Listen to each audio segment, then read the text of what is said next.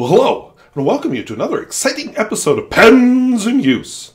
So last week I was looking at um, what did I do last year to, to mark the beginning of school. Well, it turns out nothing because I lost my voice during the first week of school. So I decided I better record this puppy early, so here it is. So this is the show where I look at fountain pens and inks that I'm using during the week. So let's dive into it.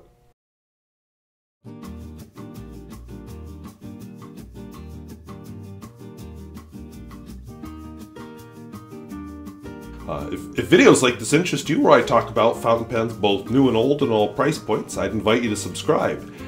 And I've got uh, quite the collection here. Um, I don't really know, I don't have a real brilliant topic this week, but uh, I, I, have some general interest stuff I'm going to throw in at the end of this video, so perhaps I'll think of something by the time I get there. So let's take a look at the pens. So from left to right, I let the cat out of the bag this week that I own this pen. This is a Parker Duofold Centennial. This one is a something I picked up on impulse while purchasing something else. This is a uh, Picasso Irene. Uh, let me get the correct full name here. I wrote it down. Uh, Picasso Greek Irene. I apologize.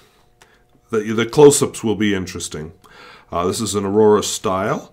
This is a Sheaffer I'm calling it an Imperial, but it's a Sheaffer 330. It's the Imperial line, but didn't go by that name. Lamy 2000. And by the way, first day of school, Lamy 2000 is my daily writer. Some reason I left it lay on the counter. But I had all my I had my pen case with me, so this for the first day of school, the Sheaffer became my daily writer pen. Um, the um, well, okay, that, that, that threw me off my line. Okay, Platinum 3776 with the koi finish, and surprisingly still has ink in it, but I was sure it would be empty by now, and it is. It's just still writing, so I thought I'd include it because it's pretty. Uh, Sheaffer Balance, a uh, Parker Duofold, purchased here in North Dakota. And finally, it is that time again to see how another Platinum 3776 does with uh, staying ink. As always, I'm going to record everything in the Bomo Art Journal, which actually does play into one of the random off topics that I'll be doing at the end of this video. So my first pen is a modern Parker Duofold. I let it out of the bag when I did a video review this week of the part of a vintage Duofold, and I laid this one down for comparison. This is a Centennial, if you're interested. It's a, a bigger pen. I have wanted one since I was a little kid, and you know, now that school's starting, I'm getting closer to my first paycheck. I see where my spending is, and uh, yeah, I went ahead and purchased one. It's uh, oh, it's a nice pen. I uh, had that Sonnet that I purchased in Fargo, uh, which got me back into Parker, and uh, yeah. Now this is no vintage pen. Don't expect flex or anything like that. But the naysayers on modern Parkers don't have the full story. They are good pens. Perhaps not the same as the vintage, but they are good quality pens. I was looking for a date code. I, I can't find it on this pen. So if anybody knows where it would be on a Parker Centennial, let me know. I couldn't find it on the vintage Duofold either, but I believe from further research it, they may not have been there. It was made about the time they started doing date codes. But this one is well past the date code era, so I don't know why there isn't one. And I'm sure there is, I just can't find it. So this is a Parker Centennial Duofold. I uh, wasn't particularly interested in a fine point in it. I wanted a broader nib, but uh, at this price point, I took what I could get. Uh, because the other nib choices were much more expensive from this seller. Uh, by the way, it seems kind of weird that I'm using such a dainty pink color ink, but notice what happens to it as it uh, ages. It just doesn't seem to match an orange pen, but whatever. Uh, this is Platinum Classic, of course. You may have guessed that from the way it's changing color.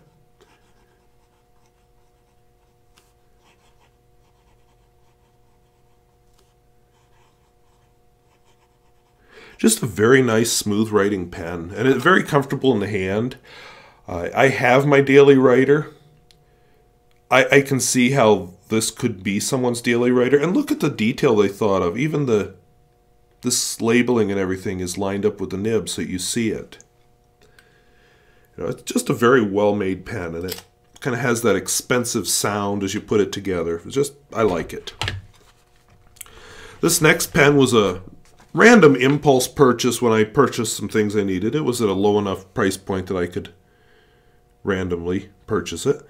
And I honestly have no pen like this in my collection. It was, it's sold as a Picasso Greek Irene, but it has a bunch of other words after that that didn't seem to be part of the name of the pen. Uh, yes, that cap is like flower petals. Uh, it makes it very awkward for putting in the shirt. So, because first I'm catching on the petals, and then this clip, I just have a very hard time getting anything under that clip, and all the leaves on it really fight the shirt, and ah, not thrilled with that. This is a pen that's all about looks. It's never going to ride in my pocket. I like the jewel on the end, though. That's pretty. Uh, hooded nib. It's an extra fine nib. I don't like metal grips, but at least they were smart enough, uh, if we're going to have a metal grip, that they made it textured. This also seemed worthy of a bright pink ink, but in this case it really is bright pink and won't change. So the Picasso Greek Irene, fairly smooth writer. Um, gets very slender toward the end there, but uh, it, it's just an interesting pen. And it came in several colors, but I, I just felt that the, the, the pink looked the best out of the choices they had there. Uh, and the ink in it is Lamy Coral.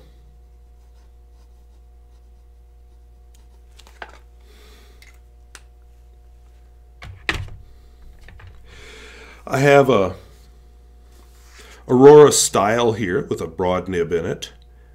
You've seen this one last, I remember, probably the last week is all.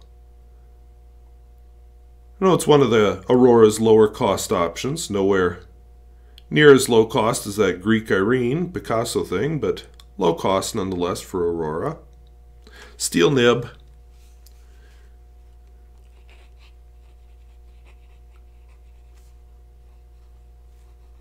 I love this ink and I am sad that it's discontinued. It is Montegrappa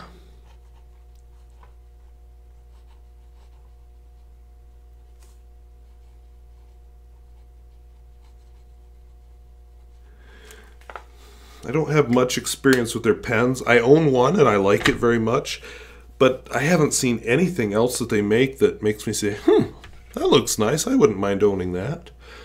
Um, as I said, this pen, the Sheaffer, uh, in parentheses, Imperial 330, uh, 1970s pen. So I hate to call it vintage because I'm a 1970s guy. That's when I was born, 1975. And uh, just a slim black pen like I like. Squared off up here. This finial is round. Just a slip cap. Very unique sort of a nib. Uh, when I do my review of it, I've got a whole discussion on uh, how you can use that to sort of date the age of the pen, but I don't remember all that off the top of my head right now. I was going to batch film tonight but I'm looking at how much battery's left on this camcorder and I'm thinking, ah, probably not. Because I have an Instagram video to film, so maybe I'll wait till Sunday. Everything will be charged. My voice will have recovered from the first week of teaching, hopefully, and uh, I'll just do it then. I'll have more time. I won't be tired out from school. Be looking forward to going back, I guess. Oh, stop talking. So Parker Quink and then it's a blue-black ink.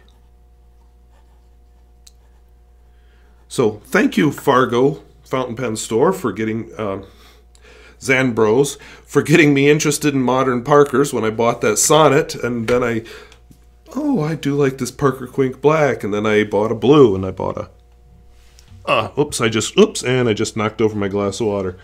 Oh well, I'm in the basement, it'll dry. that sounds terrible, but I'm glad it was just water.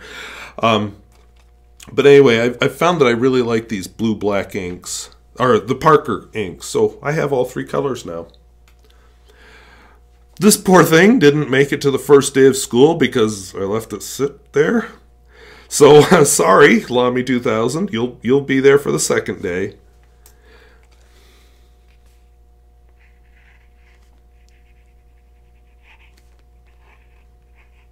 And of course, it's pretty obvious why I like it. It just writes well, it feels good in the hand. Uh, don't look, somebody was asking me some questions about it, uh, I don't know, a week or so ago. Don't look for flex on this nib. It does have some line variation, but it's definitely not a soft nib. It's gold, but not soft. And the ink in it is Lamy Black. See, right now my throat really wants some of that water that I just spilled on the floor, and unless I go lick it up off the cement, that's not going to happen.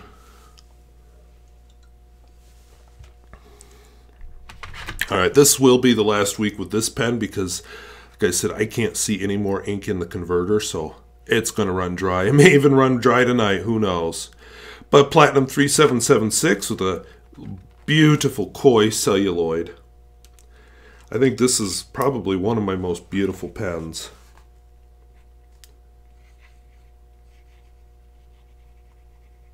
It's writing pretty wet for a pen that's almost empty.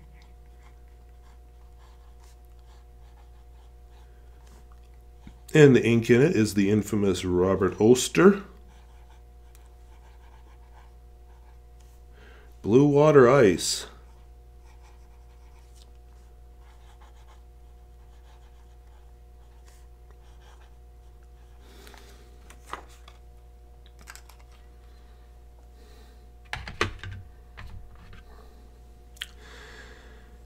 I uh, this is another pen I wanted to batch film a review for this week, uh, which again that'll be Sunday now.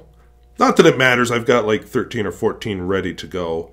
I just uh, when you saw that review of the Parker Duofold this week, that was lucky that I had videos ready to go because I needed that time and I didn't film anything this weekend because I was getting ready for school and uh, it always takes longer than you think. So uh, I showed you a close-up last week, but I think it's worth looking at again. I'm going with rose, striped rose celluloid. Uh, former owner is Carmen Jordan, so if you're out there, Carmen, I have your pen. And then W.A. Sheaffer, Pen Company, Fort Madison, Iowa, and all that.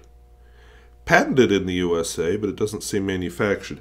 I would guess it's probably manufactured in the USA you know, just because of the age of the pen, but I don't know that. And it's a number three nib, which uh, tells you what pen it's for.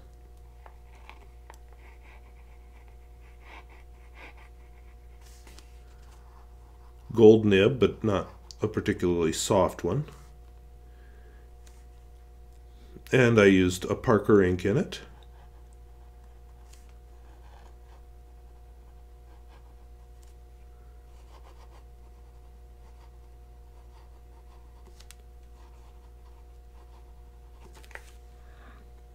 So it's a washable blue. The least impressive of all inks.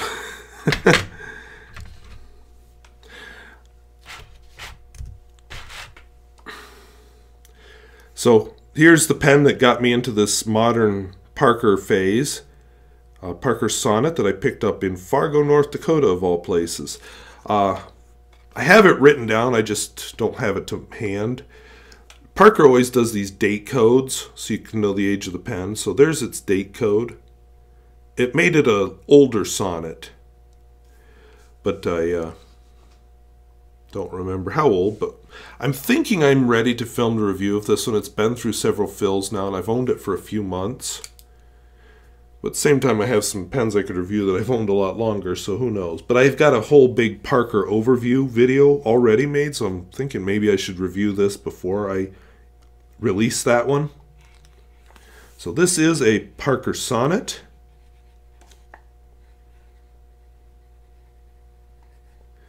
This has the medium steel nib. They are also sold with gold nibs.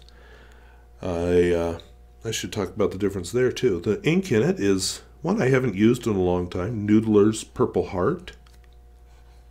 That's a lubricating ink, so usually I'll use it in a pen when I have a stuck piston or something. Or sticking piston, but I decided just to put it in this one.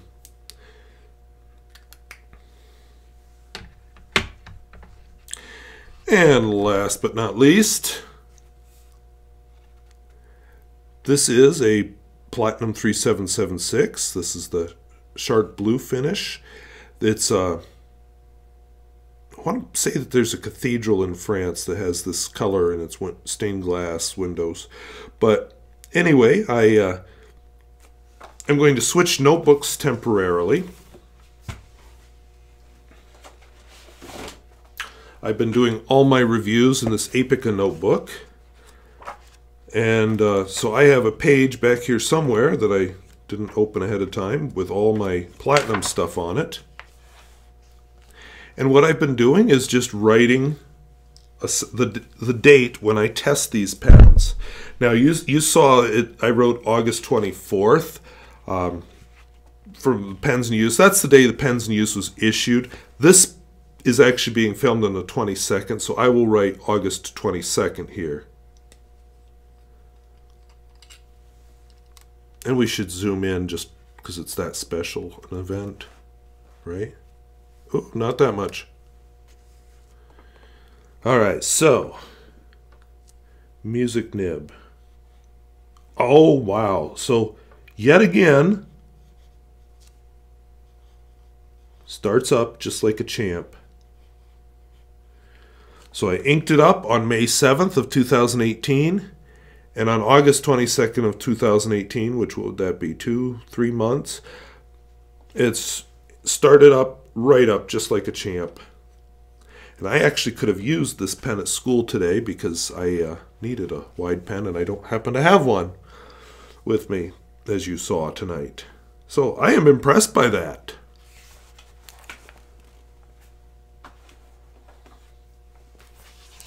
That video, of course, will be released sometime probably November, December. That one's been a long-term project, and that's part of what gave me the idea of doing uh, all this batch filming, just to have videos ahead, because school gets busy.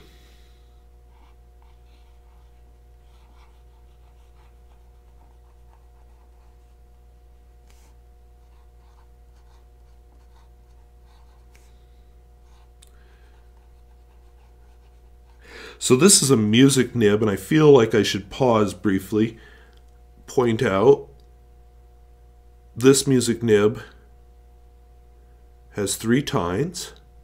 Um, it, it's it's designed for making thin lines like that and fat lines like this. Uh, one way it's different from a stub is usually on a music nib the the nib is actually tipped, whereas a stub is not. And when you say a pen is tipped, it means it has a harder material on the tip of the nib. Uh, I inked all of these with the same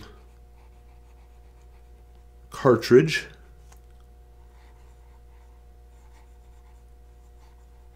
I ordered a pen which has appeared once on this channel that came with 10 platinum black cartridge excuse me, platinum black cartridges.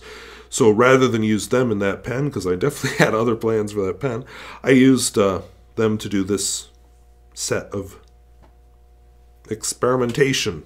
So I have a few more of these to go. In uh, September, I will open up the next one. Uh, I lost my page already. I don't need to go back. But anyway, those are the pens and inks that I'm using this week. Oh, and I just put my bare foot in the water that I spilled, that was a surprise. All right, so uh, I have some notebooks down here because of something um, that was brought up this week. But I, I want to hit some other topics first. And that one was upside down. So let me hit these other topics first. I wrote them down so I wouldn't forget because I, I, there were a few things I was thinking. One of them I have a purple cauliflower growing in my garden. I had given up on it, all the other cauliflower, cauliflowered, and I ate them and they were done. I don't like cauliflower anyway as a crop because it's not like broccoli where it keeps producing. You get one head of cauliflower, done. So I'm going to insert, I just took it with my iPad one day after, uh, oh, actually yesterday after I came back from working at school before the kids showed up. But uh, it is quite striking, and I have never seen one in a grocery store, so very cool. I, I've already decided what I'm doing with it. It's so striking. What I'm going to do is I found a recipe for purple cauliflower hummus, but no chickpeas in it, no tahini, so I don't know how they get away with calling it hummus. But the cool thing with it is you uh, serve it with lemon wedges so that the people you, are serving it to can squeeze the lemon wedges out on it and it turns a bright fuchsia pink. So the chemistry teacher in me is like, yeah! so I got to do that.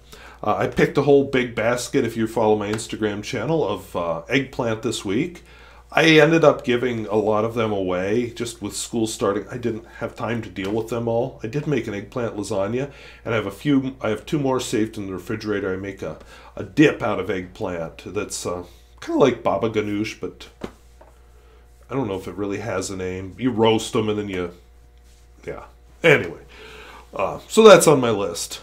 Uh, I had a striped one I was going to just pop up here, just show you under the camera, but I left it upstairs and I don't feel like going back upstairs. All right. Um, one other thing that came up this week, I saw a video by JPL about the Sydney Pen Show. If you don't know JPL, he is a fountain pen reviewer in Australia.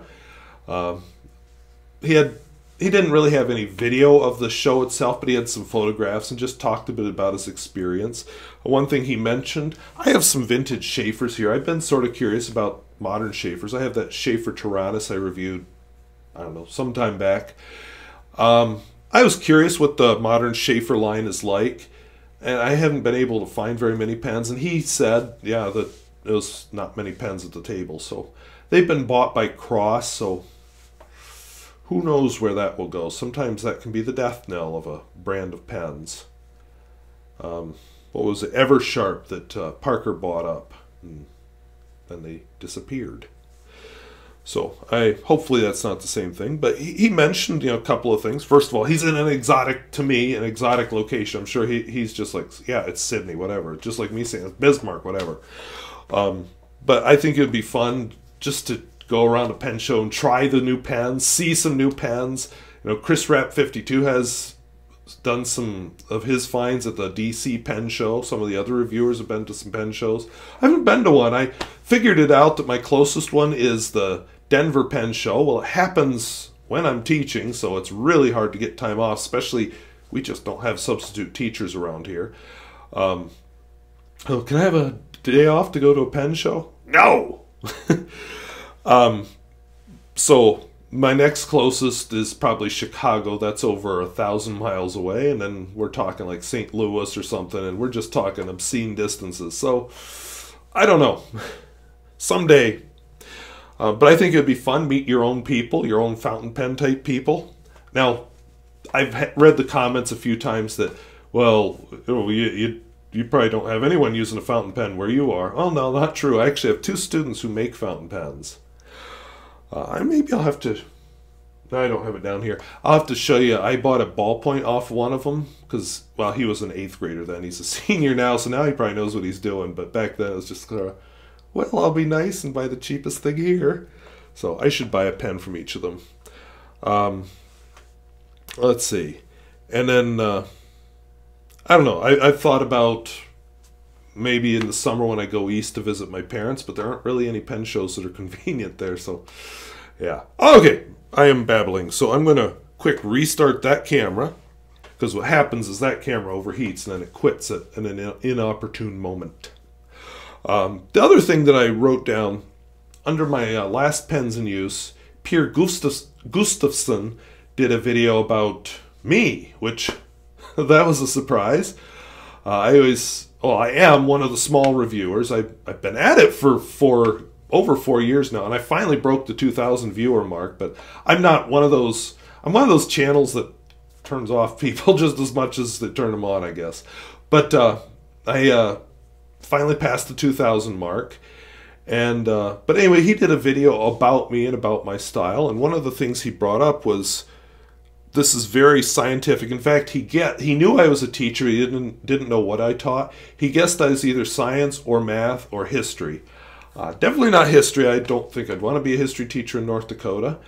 Um, science is okay. We're not part of the Bible Belt, so I get away with teaching evolution and Big Bang and all that.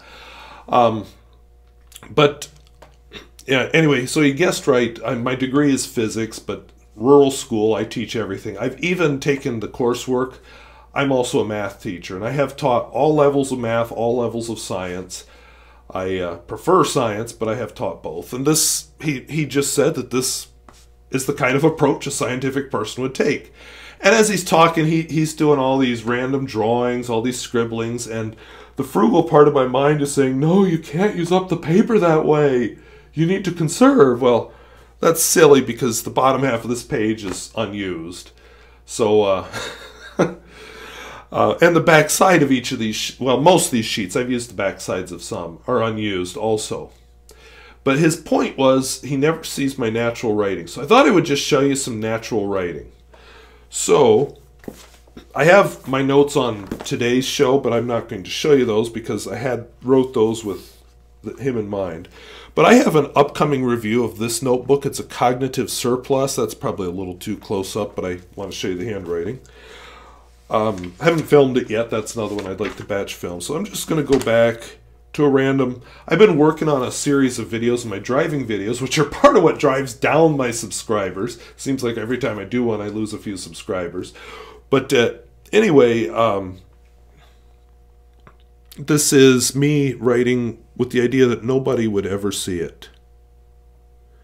So that's what my writing looks like when I'm not planning for anybody but me to see it.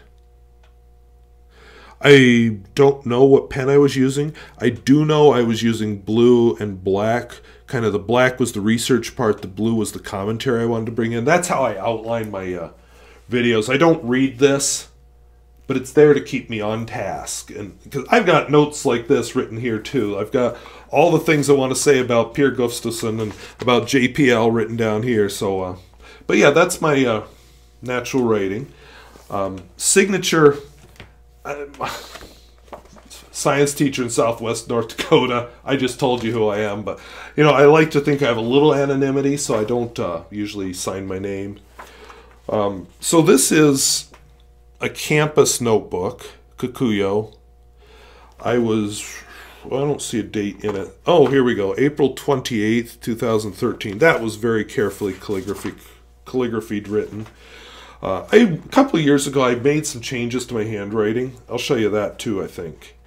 Uh, but anyway, um, that's how I was writing I guess it's five years ago now. This is a novel. I totally changed who I was since I wrote this, so uh, yeah, that whole personality and beliefs change is going to have. It means I've been redoing this basically from scratch, which is why it hasn't made any headway. But I think it'll be worth it in the end. Now I'm going to get up.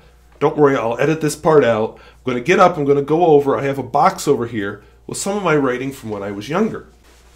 Okay, in the process of grabbing these, I stepped in the wet spot again, so yay. Uh, anyway, I have a stack here. This isn't all of them, but this is some of my early writing. I have actually been writing since I was in third grade. Now, I have a decluttering side, and sometime back, probably when I was moving to no, it has to have been before that. Anyway, some point in my life, I decided to declutter all that embarrassing young child stuff I'd written, but now I wish I wouldn't have and would have kept it. Um, some of it I threw away later because, uh, well, that Parker Quink washable blue kind of faded on the pages, which was interesting. But here's one. I would say I wrote this in high school. Uh, just going by what book it is. So I had a different style of writing in high school. And Parker Quink Black, of course. Uh, this, I must have been in a car or on a bus or something thinking bus again. I, I don't know. It's been too long. I don't remember. But anyway, so my that's my handwriting. High school me. Let's see. This What is this? Oh, this has to be college because I'm talking about LC circuits. And that sounds like my college. Oh, yeah, I know where. Yep, this was written in college. This is college me apparently using a ballpoint. But, you know, couldn't get away from my Parker Quink black and uh, fountain pen, probably the Parker Vector. Or I used to have a cross something or other. Back then when you couldn't order online, it it kind of depended on if you could find a store that sold fountain pen ink cartridges. This one, what is this one? This is probably high school. Uh, I used to have a thing for Mead grad notebooks. Now I know that they're not the most wonderful paper, but hey, it actually did pretty well on there, I would say. This is definitely from college because it's a notebook I bought at college. It's a Roaring Spring notebook. Uh, let's see here. Oh, mostly ballpoint in this one. That's interesting. Oh, well, let's turn to this page because I don't know what pen this is. But it apparently soaked through whatever it was. But it has to have been a ballpoint or a gel or something. But wow, did that soak through.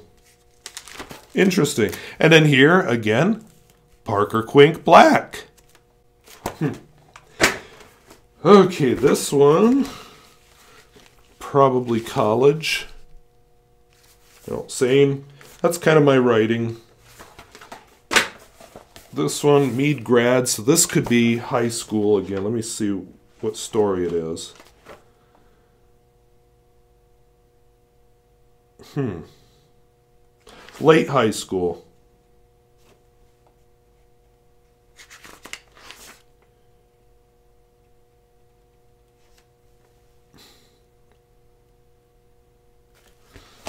And this last one, another Mead grad notebook. Oh, let's see. Huh. Oh, okay, so this guy's been shot. I can't remember why. I don't really remember what this story is about. Oh, I okay, wrote this one in college. Now I'm recognizing the story.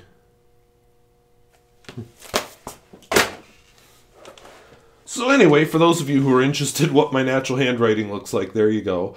Uh, both me now and me high school and college. I I have here one other little dealio. This is a manila folder. I uh, I liked to draw di I still do this. Draw diagrams of the bigger, more important buildings. Um, Oh. I also, back then, used to pick up random printouts that nobody picked up and use them as my notebook paper. Um, more sketches.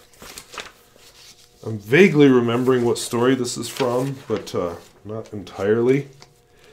Um, oh, I showed you that already. Let's see here. Hmm.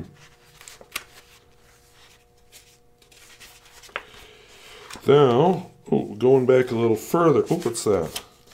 Oh! I used to try to be more artistic. This was, boy. Well, okay, this is with a TI-99 4A word processor, whatever the program was called.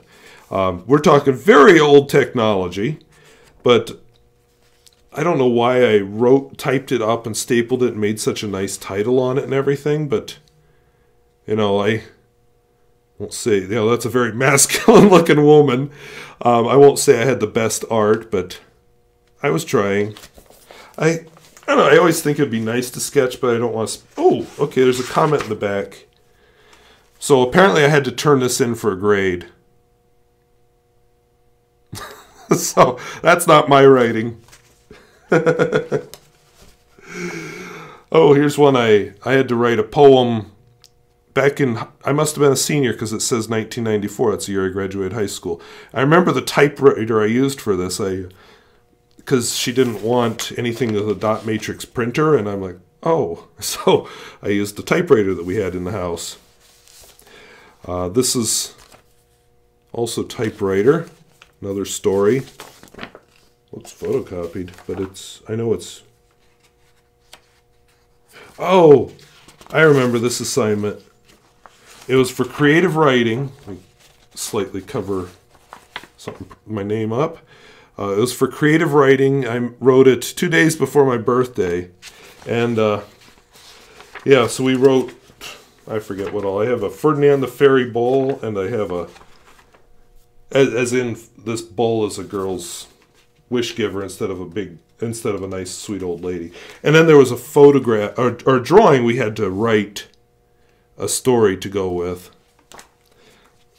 And this one, that TI-99 4A, I was a nerd back then. So I had myself a pen name picked out. I think my real name is much more interesting. I had figured out how to do the copyright symbol on it. I had uh, I used to like programming on that computer, and I would call all my programs TI games. So yeah, so here is my Star Trek knockoff. So, uh, yeah, I would have been 14. Now, this is the typed version of what would have been written originally. But I can't find the original's written version, so I don't know where they got to.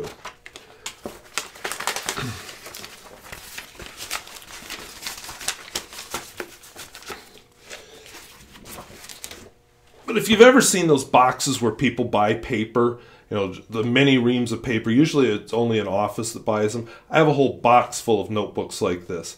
I mean, it's mostly garbage. It's not good writing, but it's where I learned what I do now. And hopefully at some point, all that practice of writing since I was in third grade will pay off. I'm hoping with this book that I'm working on right now, rewriting, because, you know, my total change in personality and everything. But uh, anyway, the important thing is that I'm writing, so that's one of the things that eats up my time besides doing fountain pen videos. And that's part of why I got into fountain pens in the first place, because they felt good to write with. So, uh, And I've been writing with a fountain pen since fourth grade. So anyway, that got way off of that. Now I think you can see why I didn't really have a good hook to ask you, here's something to comment on this week, because it was going all over the place. So maybe I'll just say, uh, we'll have two two questions. Maybe you could answer in the comments. One, is there a how? What would be a suggestion for um, Pier Gustafson's request that I have my more natural handwriting, and what would be a way I could do that? Um, and then another question might be, what do you write? You know, I don't just own the fountain pen. I mean, I have a couple that are pampered pets. My Instagram channel is getting a pampered pet tonight, but most of them are used for writing. If I don't like writing with them, I don't keep them. I mostly give them away. I've I'm, I had one I was trying to sell, but then the buyer fell through, and now I'm just giving it to somebody. But anyway, I uh, that's me.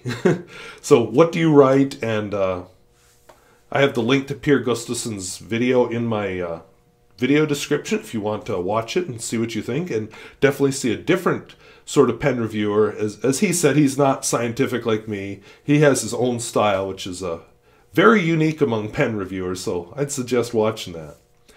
So anyway, if uh, videos like this interest you, I would invite you to subscribe and uh, comment down below about what you write or what you think I could do about instituting more natural handwriting. So uh, thank you for watching. We'll see you later. Bye-bye.